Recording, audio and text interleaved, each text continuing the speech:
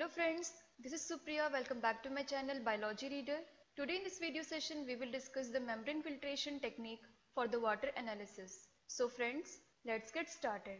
Starting with the introduction, membrane filtration method is used to check the water quality whether it contains coliforms or not. Presence of coliforms in the water system indicates that there could be disease causing organisms in the water. This method is also called millipore filter technique because it uses membrane filter of minute pore size to trap the microorganisms. Membrane filtration is also used as an alternative to MPN or most probable number method as it gives rapid results. This method has two basic approaches. One is it helps in isolation and enumeration of microbes in the desired volume of water sample by using colony counter. Secondly, using this method, we can determine the water quality by calculating the colony forming units over the culture plate. Therefore, membrane filtration method inspects both the water quality and quantity of microorganisms in the water. Now we will study the different components of the membrane filtration assembly. Filter funnel is fixed at the top from where the water sample is passed. Locking ring is present below the filter funnel.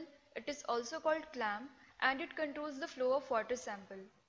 Membrane filter is placed over the carbon disc using sterile forceps. Stainless base holds both the carbon disc and the membrane filter. Then at the base, rubber stopper controls the water flow into the filter flask. Filter flask collects the filtrate and it has a connector at one end. Vacuum pump is connected to the filter assembly through the connector. It provides a negative pressure permitting the suction of filtrate.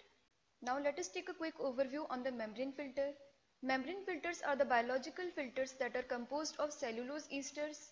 These have an uniform pore size ranging between 0.22 to 0.4 μm and a thickness of 150 μm. Membrane filter can trap the microorganisms present in the 100 ml of water sample. Therefore, membrane filter acts as a barrier that separates contaminants from the water. Membrane filtration traps contaminants that are larger than the pore size on the surface of the membrane Thus bacteria and other particulate matter retain on the surface of the membrane filter. Membrane filters are extensively used in laboratories for the isolation and separation methods. In industries like cosmetics, food and beverages, these are used to check the presence of bacteria and to sterilize the heat labile fluids. Also the membrane filters are used in water engineering for the qualitative analysis of water by the direct microbial count method. Friends, after the separation of bacteria over the membrane filter, we need to prepare a special plate for which we need an absorbent paper. Absorbent paper is the filter paper disc having a diameter of 48 mm and a thickness of 0.8 mm. The absorbent paper can absorb 1.8 to 2.2 ml of the nutrient medium. To prepare this special plate, first we need to saturate the absorbent paper with an appropriate liquid or solid nutrient medium. Then we have to place the membrane filter containing viable bacterial cells over the saturated absorbent medium. Then at last we need to incubate the plate.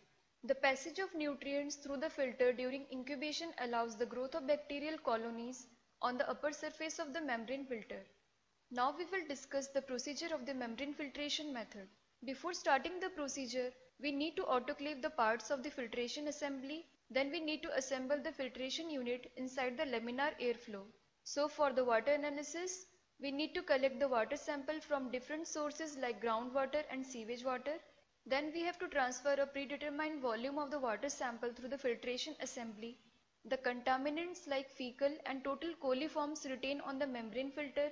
Fecal coliforms like Escherichia species, Enterobacter species, etc. in the water indicates fecal contamination some fecal coliforms are also pathogenic.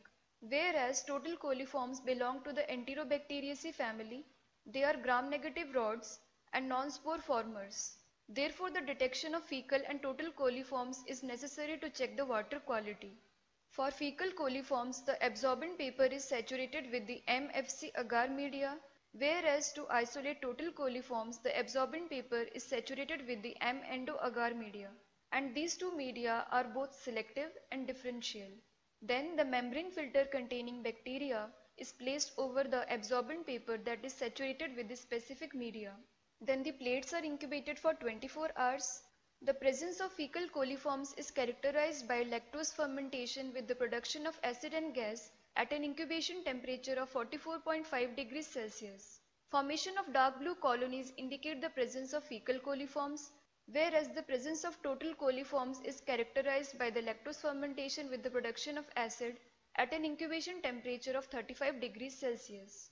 The formation of red colonies indicate the presence of total coliforms. Then we can count the number of fecal and total coliforms by the direct microscopic count method. So friends, this is all for today. To know this topic more in detail, you can visit our official website that is biologyreader.com. Link is provided in the description box. So friends, if you find this lesson useful, do like, comment, share and subscribe my channel and don't forget to press the bell icon for more videos.